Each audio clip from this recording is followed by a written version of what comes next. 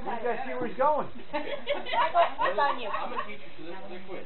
Ready? Mm-hmm. Okay. What do you know about World War One and the airplane? you know Snoopy and the Red Baron?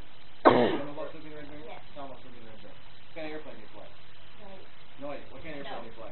Fly 747? Come on. Yeah. You know the, the bi-wing airplanes, you know? Canvas, right. wood, failing wire, stop with Come on, put your wings out.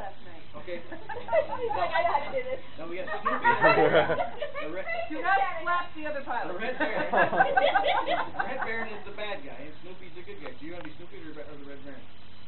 Uh, you got to be the good guy. You're Snoopy. Okay. Right. Look at the air. He's gonna fly the airplane. So you gotta fly. Okay, he's gonna fly around. So you gotta make the noise. Come on. Yeah. Collision. Make this noise. Okay. Now she's gonna be the pilot. You're gonna be the co-pilot, or vice versa. She's on the right side.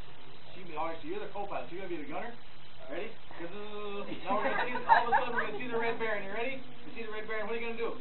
Shoot You're gonna shoot him. What's it gonna sound like? It's gonna sound like this.